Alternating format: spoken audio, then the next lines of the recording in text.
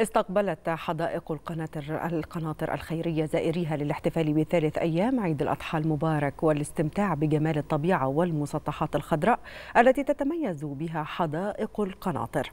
وقال محافظ القليوبية عبد الحميد الهجان إنه تم اتخاذ كل الإجراءات اللازمة لتأمين المواطنين مشيرا إلى أنه تم تكليف رؤساء المراكز والأحياء بتكثيف الجولات الميدانية وتفقد الحدائق والمتنزهات على مستوى مراكز ومدن المحافظة. وحل أي مشاكل قد تطرأ خلال أيام العيد وتوفير المناخ الجيد للمواطنين للاستمتاع بالإجازة.